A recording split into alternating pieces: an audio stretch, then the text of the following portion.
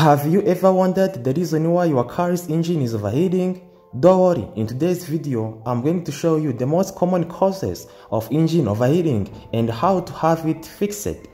Whether you are a driver or a driver beginner, you should watch this video because this will help you to maintain your car's engine.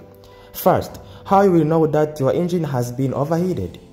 If your engine is going to overheat, the coolant temperature warning light will stay on on dashboard. If coolant temperature warning light stays on on dashboard, you have to immediately stop your car and determine the reason why your engine is overheating. But before diagnosis, wait, and wait an engine to cool. If radiator cap is removed from the hot engine, this will happen.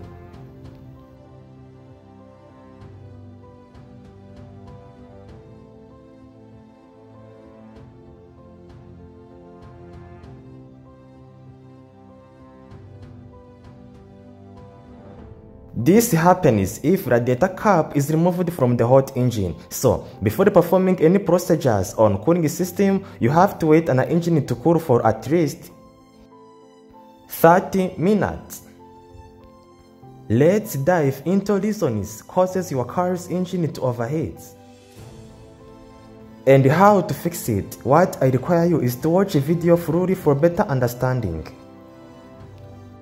Mostly, engine overheats due to defective cooling system because you know that cooling system in a car maintain and regulate engine temperature as constant. So, whenever there is a problem with cooling system, your engine will heat also. That is why it is necessary to check the cooling system component because it's the most common causes of the engine overheating.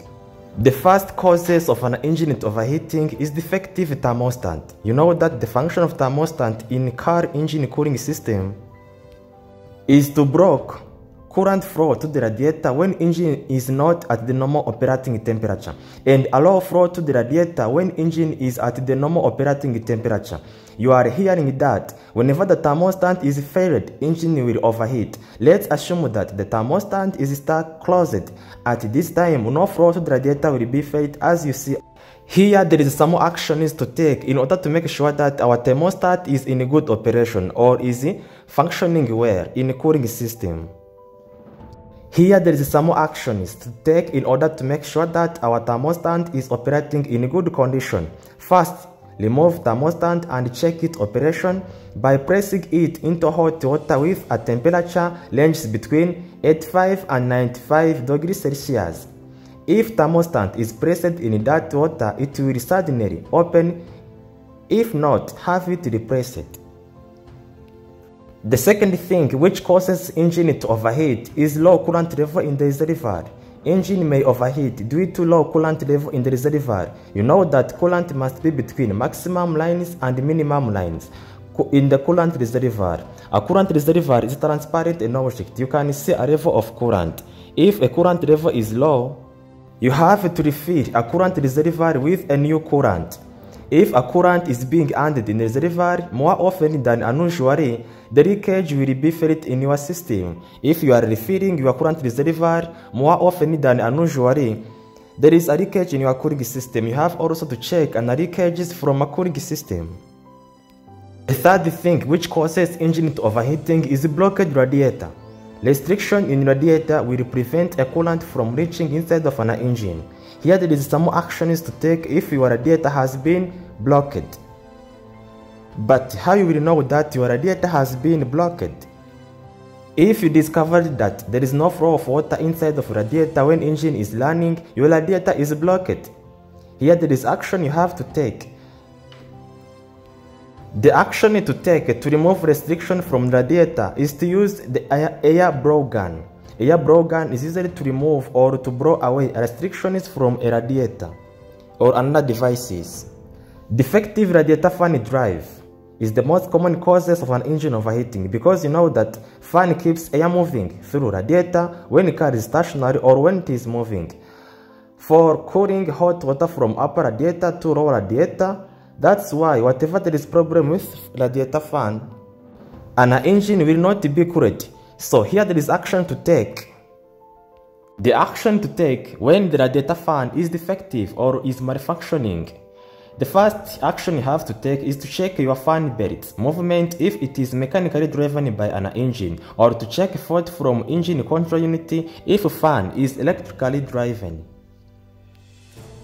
Defective water pump is the most common causes of an engine overheating. Water pump draws cold coolant from radiator and supplied to an engine. If water pump fail, engine will overheat. So what to do if water pump is malfunctioning? You have to check leakages on water pump. If leakages is found, have it replaced because you know that the water pump has no repair. Also check the water pump belt if it is functioning properly because you know that a pump get a rotation from a crankshaft via a belt. So whenever there is a problem with a driver belt, no pump movement will be felt. Leakage is the most common causes of an engine overheating. This is where an leakages can be found among a cooling system component. A leakage can be found on thermostat housing, water pump, hoses connection, core plugs, radiator or another component, but this is the main component where a leakage can be found. But how you will know that there is a leakage on cooling systems? You will discover leakages from cooling system when you are refilling a reservoir tank or coolant tank with more coolant than unusually. Whenever you are refilling a coolant reservoir with a new coolant than unusually, you will discover that there is a leakage in your system. So you have to repair it quickly, as soon as, as possible. Here, action to take. Check leakages among a cooling system component, like a leakage on radiator, by performing visual inspection. By performing visual inspection, you can see a leakages on among a cooling system component. Check leakages on radiator. Check leakages on water pump. Check also if upper and lower data hoses are properly connected. If they are disconnected, you have to connect them properly. Those are the things which can cause an engine to overheat from a cooling system. If you found that this video is useful, remember to make subscribe and make it share with family and friends. Thank you.